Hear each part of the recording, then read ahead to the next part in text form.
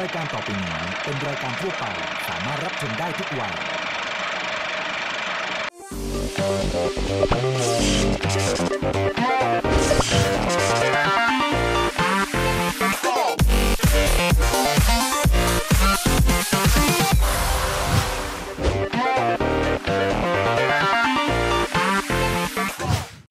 สวัสดีครับคุณผู้ชมครับ เราพบกันอีกแล้วกับรายการเต็มปากเต็มคำนะครับ เป็นประจำทุกวันพุธบ่าย3โมงทาง Workpoint กดหมายเลข 23 ก็เจอเราทันทีเลยนะครับ คุณผู้ชมครับเมนูที่รายการของเรานำมาฝากคุณผู้ชมในวันนี้ จะถูกใจคุณผู้ชมไหม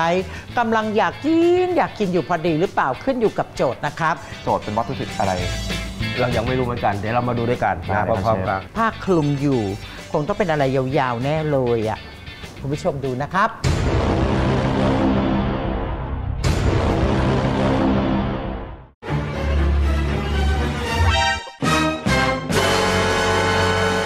ว้าว ของดีมีประโยชน์และดีต่อสุขภาพว่านหางจระเข้คุณผู้ชม และอันนี้ก็น่าจะเป็นว่านหางจระเข้สำเร็จรูปอยู่ในน้ำเชื่อมนั่นเอง วันนี้จะทำเมนูที่มีชื่อว่าว่านหางจระเข้ชีสพายให้คุณผู้ชมชมนะครับ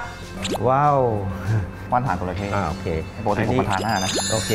ก็ทำอาหารได้นะทำเป็นเครื่องดื่มก็ได้นะอ่าเราอาจจะไปทำเป็นเครื่องสำอางก็ได้อ่าแต่วันนี้เราจะทำอาหารนะในเมนูเซบิเซว่านหางจระเข้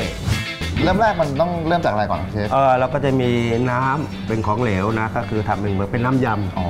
ำก็เริ่มจากน้ำมะนาวครับน้ำมะนาวครับครับมีน้ำมะนาวอ่ใส่ลงไปก่อนเลนะครัยบใส่ลงไปเลยครับผมแล้วก็น้ำเชื่อมใช่ไหมเชฟตามน้ำเชื่อม แล้วก็เกลือ พริกไทยหยาบๆหน่อยนะหเชฟน้าเนาะพริกไทยป่นหยาบใช่ แล้วก็พริกใช่ไหมครับ ใช่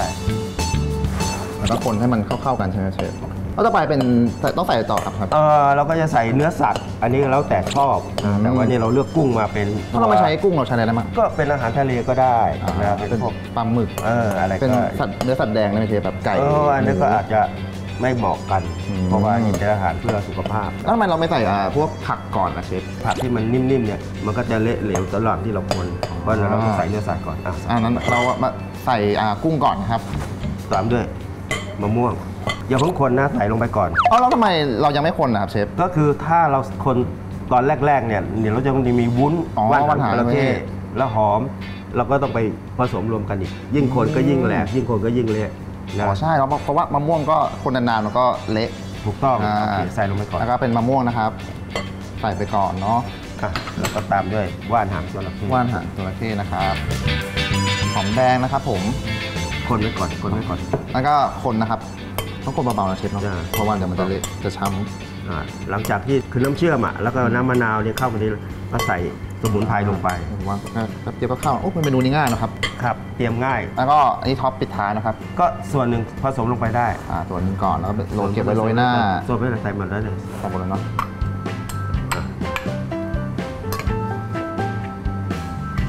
เซบิเช่ว่านหางจระเข้เราก็เสร็จเรียบร้อยแล้วครับ อันนี้ก็วานให้เชฟช่วยลงจานให้ผมหน่อย อันนี้เราก็จะเสิร์ฟนะฮะ อ๋อเชฟนี่คืออะไรครับเชฟ อันนี้เป็นแป้งนาโชนะอืมก็คือแป้งกรอบๆที่สำหรับชาวพวกเม็กซิกัน หรือเป็นพวกเอ่อแถบลาตินอเมริกาใต้นี่เขานิยมทานเป็นของทานเล่น หมวดทานเล่นใช่ไหมครับเออถ้าเราไม่กินกับนาโช ส่วนใหญ่เขาก็จะอ๋อเสิร์ฟเป็นแบบตัวนี้ค่ะอืมถ้าเราจะไม่กินอันนี้ก็อาจจะโอ้โหกินเป็นสลัดเฉยๆก็ได้ โอ้โหพอลงจานเสร็จเรียบร้อยแล้วดูน่าทานมากเลยนะครับ กับเซบิเช่ว่านหางจระเข้นะครับผม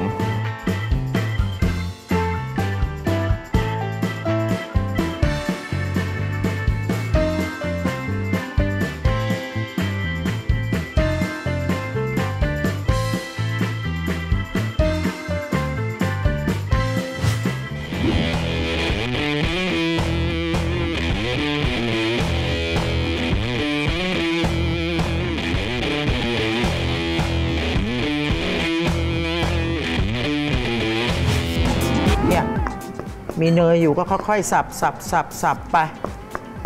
มันก็ดีนะ ใส่อะไรมากน้อยได้ตามต้องการ อุ้ยลืมบอกนมข้นหวานค่ะ อืมก็ดูน่าทานนะ คุณผู้ชมว่ามา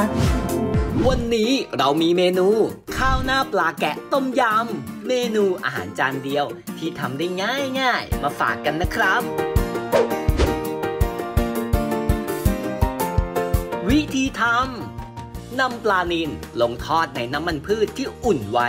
ทอดจนสุก ตักขึ้น พักให้เสด็จน้ำมัน จากนั้นโรยด้วย ซอสผงปรุงรสรสต้มยำตราไทยเชฟ เตรียมไว้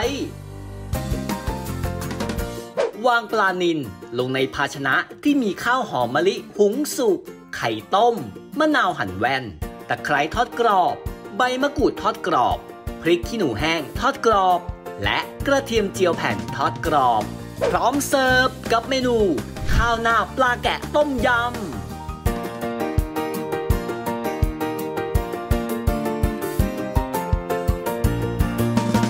ผัดทอดหมักยำ จะเมนูไหนก็อร่อยได้ง่าย ๆ ด้วยไทยเชฟ ไทยเชฟ เข้มข้นถึงใจไม่ต้องใช้เยอะ